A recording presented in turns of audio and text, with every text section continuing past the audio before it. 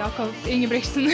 he recently stated that he could have beaten you blindfolded. I'm wondering how you feel about that statement and how do you feel about him not being here? Kerr is being driven round the bend by 5,000 Brits. They're on their feet.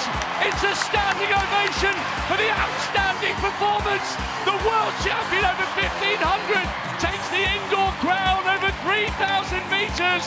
He's all about confidence. He's all about. Scotland's Braveheart delivers in style on his home patch. No comment.